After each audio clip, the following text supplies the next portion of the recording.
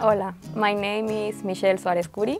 I'm from Veracruz, Mexico, and I am studying MSc in Reservoir Engineering. When I arrived to Aberdeen, it was really exciting because I, I've never been in this part of the world. Like I've been in France and Germany that are so different than Aberdeen. And also it's a really small city, but it's so alive at the same time. So even if you, maybe you can go out and you can see all of these old castles that the school is a castle, like the King's College. So it's really amazing that they preserve all of the essence of the city and at the same time it's like a really young city because it's filled with students and everything. It's so nice. Since I arrived here, it was really easy to make friends, but for example, they give you all of these introduction courses, induction courses, where you can like meet other people from different programs some, like most of them are related with like geology and all industry, but it's really nice because it's, it also helps you to networking. So it's making friends, then you can have fun and go out and go clubbing. And also, for example, with like the Mexican uh, society from CONACYT, we have a really, a really nice group we sometimes go out and we can like have fun and also help each other. Like for example, a couple of weeks ago I was really working on something on MATLAB, like it's some coding. So one friend I met uh, from CONACYT, I met him here in Aberdeen and he was really helpful and that just shows you that even if you're not in the same program, like people will really help you out. The weather, I find it nice because I like cold weathers, but at the same time I miss the sun so much. But like, let's be fair, we have sunny days and sometimes it's raining, bring an umbrella too.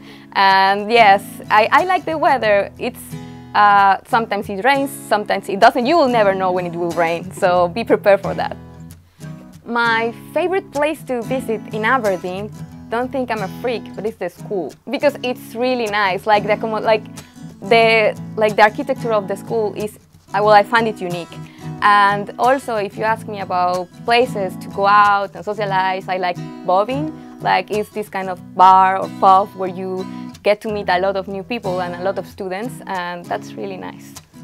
At the weekend, it's possible to visit some castles, and it's also it, like it's really nice. For example, you can just take the bus to Edinburgh, that is like two hours and a half from Aberdeen. Also, London is two hours flight, so it's really easy to visit places inside the UK. And like to be honest, like here in Aberdeen, like you have all like sort of different castles really close. So you like any weekend you just can maybe it's like a half hour drive. You can take a bus. It's really fast. And if you go to Dunnottar Castle, go to the fish and chips. It's really good. My advice to students that are coming to Aberdeen or that are just thinking about applying to the University of Aberdeen is just do everything on time. Take your time because everything can take more than you think it will take. And for example, like with the process of application, I would advise people just to like start really early from November, December, as I said before, and also like to find accommodation. That was like uh, it was hard because I didn't know uh, about the like because you have to wait an entire month sometimes or maybe two weeks to to get your apartment if you find if you want a private accommodation and there are so many guest houses so if you are coming maybe just from two months early, one month early, I think it's fine. You can start to book uh, a guest house that is so much cheaper than an hotel because even hotels were full, so there was no place, it was really hard. So I would advise that, just do everything on time because like the city is a student city. So you can like, at August is, everything is full. So just book everything on time and just start to look for houses if you want a private accommodation on time because you need to do you need to book an appointment. University also provide accommodations, but I didn't know that at the moment. So I would advise you if you're interested into like sleeping uh, or staying inside of the school campus, you can just ask.